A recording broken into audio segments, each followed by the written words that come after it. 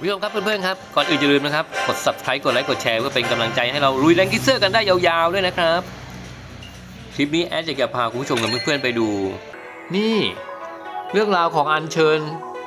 อ่า patch ใหม่นะครับ patch ใหม่เขาอัปเดตมา มีตัวละครเข้ามาในตู้อัญเชิญหรือตู้สุ่มเนี่ยตู้กาชาเนี่ยกาชาเนี่ยไอเซลเดย์นะครับไอโซนเดย์นะฮะนี่แอดมี40 40 ใบแล้วนะครับ 40 ใบเนี่ยเป็น 4 ชุดชุดละ 10 เอาละลองเลยนะฮะลองของเลย เอาเลยอัญเชิญปื๊ดปื๊ดปื๊ดปื๊ดเลยฟ้าปั๊บมาเลยเอ้าเอ้าดูสิไม่ได้นะครับไม่ได้อันที่ไวไป อีกอีกสิบนะครับอีกสิบโอ้ยไม่ใช่ตัวนี้โทษทีอีกสิบ เนี่ยนิ้วไปแตะขอบจอกันนิดเดียวปั๊บปั๊บปั๊บปั๊บปั๊บปั๊บปั๊บปั๊บปั๊บปั๊บสี่ลุ้งสี่ลุ้งมามามามามามามาสิมามาอะยังขาวอยู่นะครับ ถ้าขาวเนี่ยแสดงว่าไม่ได้นะฮะไม่ได้ไม่ได้แม่ทัพใหม่เข้าร่วมรบในทีมนะครับ ก็โอเคยืนยันไป เดี๋ยวอีก 20 ชิ้นนะครับ อีกรอบหนึ่ง ลองดูลองดู ลองดูปั๊บมาเลยมาเลยมาเลยลุงลุงลุงลุงลุงลุงลุงอ้าวเป็นขาวอีกนะครับ เป็นขาว เป็นขาวก็ไม่ได้นะครับ เอาละอีก10ชิ้นสุดท้ายนะครับ อีกชิ้นสุดท้ายปั๊บปั๊บปั๊บปั๊บปั๊บปั๊บปั๊บปั๊บมามามา มามามาเอาเฮ้ย ได้หนึ่งตัวละคร เฮ้ย ได้ตัวละครเดิม เหมือนไอดีก่อนเลย ได้เจส เอ้ย ได้ตัวละครเดิมนะครับ ซ้ำกับกับกับไอดีที่แล้วที่คลิปที่แล้วนะครับ ก็ได้เจส นั่นไอดีหนึ่งพอมาไอดีนี้ก็ได้เจสอีก อืมหืมอะให้ก็ต้องรับครับ เฮ้ย อยากได้ไอโซเดย์อะ โอ้เสียท่าเสียท่าอะโอเค ได้อะไรเราก็รับนะครับแปลว่า 40 ใบนะครับ เราอัญเชิญมาก็ได้เจสมานะฮะอีกหนึ่งตัวละครนะฮะนี่ได้เจสมาเจสก็พอได้มาใหม่นะครับ เป็นแม่ทัพใหม่นะครับ เป็นแม่ทัพใหม่ซึ่งทุกอย่างก็เป็นศูนย์หมดอย่างเงี้ยนะครับเนี่ยเป็นศูนย์หมด เดี๋ยวว่างๆก็เราจะไปอัพหลังไม้ว่าให้ให้เจสเนี่ยมีพลัง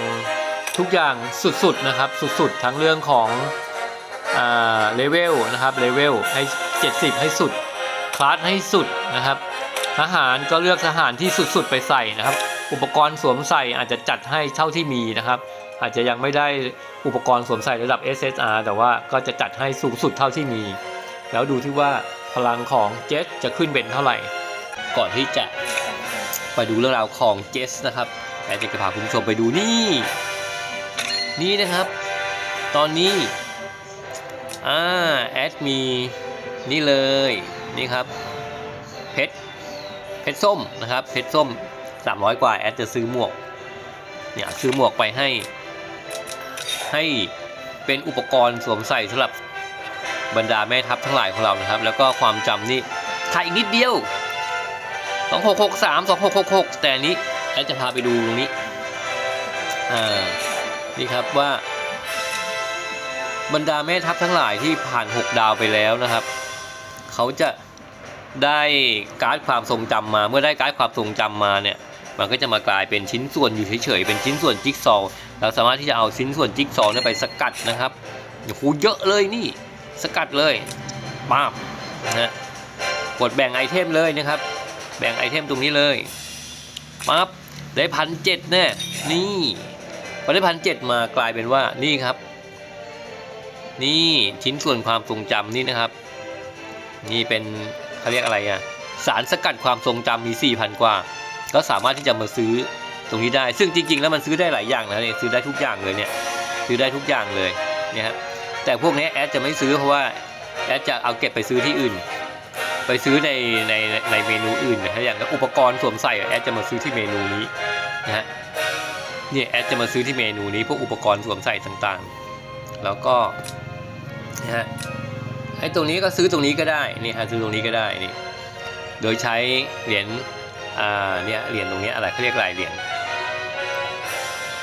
เป็นเขาเรียกเหรียญอะไรนะเหรียญเกียรติยศที่ได้จากการเอาชนะในในลานประลองมานะครับ แต่ว่าแอดก็จะไม่ใช้เหรียญที่ได้ชนะจากการลานลานประลองมาแอดก็จะเอามาซื้อตรงนี้นี่จะมาซื้อพวกนี้นะครับพวกนี้นี่พวกนี้นะฮะ แล้วก็ไอตัวหินอันเนี้ยหินอันนี้แอดก็จะไปเอาในเมืองลอยฟ้านะครับไปเอาในเมืองลอยฟ้า เพราะฉะนั้นซื้อนี่ดีกว่าแอดจะซื้อนี้นะครับนี่ชิ้นส่วนความทรงจำตรงนี้สารสกัดความทรงจำแอดจะมาซื้อตรงนี้เลยเครื่องประดับนะเพราะเครื่องประดับที่อื่นมันหายากซื้อตรงนี้เลยนี่ได้หนึ่งชิ้นแล้วนะครับผู้ชมครับ เราจัดการส่งเจสเข้าไปอบรมพัฒนาศักยภาพนะครับ แม่ทัพใหม่นะครับ อ่าเพื่อจะเอาลงสนามร่วมรบนะครับตอนนี้ ตอนนี้พลังของเจสเข้ามา 3,957 แล้วนะครับ นี่นะครับนะฮะเรียบร้อยแล้วนะครับทหารจัดให้สุดแล้วนะครับคลาสโอเคแต่ยังไม่ได้ใส่ตรงนี้นะครับยังไม่ใส่เรื่องของความชำนาญ ก็โอเค เอาไว้ที่หลังนะครับ ตรงนี้นี่ 70 แล้วเรียบร้อยนะฮะสเตตัสก็ประมาณนี้ก็โอเค เราไปดูกันเลยว่าเจสเนี่ย ในภารกิจส่วนตัวของเจสซึ่งจะไม่ซ้ำกับของใครเลยนะเจสจะต้องทำอะไรบ้างนะครับ ในการอบรมพัฒนาศักยภาพแม่ทัพใหม่นะครับเข้าไปดูที่พลังคู่หูก่อนเลยนะครับนะฮะเจสผ่านแล้วนะครับเงื่อนไข เอ้ยอันแรกนะครับ อันแรกด่านที่ 1 ด่านที่ 1 พลังคู่หูเนี่ยผ่านเงื่อนไขแล้วความสนิทสนมเลเวล5จัดเลยอ่าแล้วก็สุด สุดนะครับ ส่วนที่เหลือเนี่ยเดี๋ยวค่อยไปเติมหลังใหม่นะครับนี่ฮะต้องเจสต้องเข้าไปในลานประลองให้ชนะ 1 ครั้ง แล้วก็ไปเอาชนะที่ด่าน3ด่าน3ขีดหนึ่งนะครับของรอยแยกแห่งการเวลา เดี๋ยวไปทำหลังใหม่นะครับ ไปอัพไปพัฒนาเจสหลังใหม่ แต่ตอนนี้อยากจะพาคุณผู้ชมเพื่อนมาดูนี่เลยนะครับตัวแห่งโชคชะตาของเจสเนี่ยด่านแรกพลังที่ถูกลืมเนี่ยมันเป็นยังไง ความยากต่ำสุด 25 นะครับ เนื้อเรื่องก็คือนี่อดีตอันยาวนานเนี่ยมีคนหนึ่งที่ให้ใช้ระเบิดลี้ลับ แล้วก็เงื่อนไขชนะเจสต้องไปถึงรูปปั้นเทพธิดาผู้รับใช้นะฮะแล้วก็ไปดูที่เงื่อนไขความสำเร็จเจสไม่ได้รับ damage โอ้โหเจสต้องไม่ไม่โดนตีเลยอะชาวบ้านไม่ถอยทัพโอ้ชาวบ้านก็ไม่ถอยทัพอีกโอ้ดูถ้าจะจะลำบากเหมือนกันนะเนี่ยไปเลยนะครับ skip เลยลุยเลยด่านแรก ของเจสนะครับโอ้สคิปไปก่อนนะครับด่านแรกของเจสเจสต้องไม่มีมิดอยู่ด้วยนะครับ มิดของเจสก็คือไอโซนเดย์เสียดายไอโซนเดย์นี่เราอัญเชิญยังไม่ได้เลยอะอะแล้วทีนี้อ๋อเจสจะต้องลุยขึ้นไป นี่นะครับ เจสจะต้องลุยขึ้นไปเนี่ยให้ถึงจุดนี้นี่นี่นี่ให้เข้าไปในนี้ให้ได้นะครับ จึงจะชนะ แล้วนะครับเดียวกันต้องไม่โดนโจมตีเลย เอาละครับ อ่ะ ลุยเลย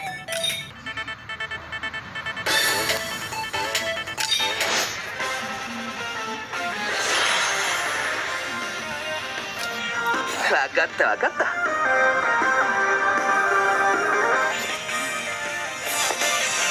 トイバールの意志は運命の鎖を打ち破リ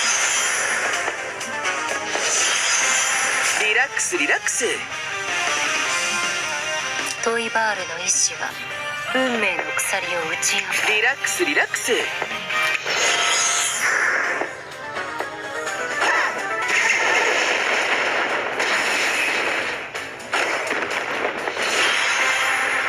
かったわかった。トイバールの意志は進むべき方向へ導いてくれるわかったわかったトイバールの意志は運命の鎖を打ち破るリラックスリラックス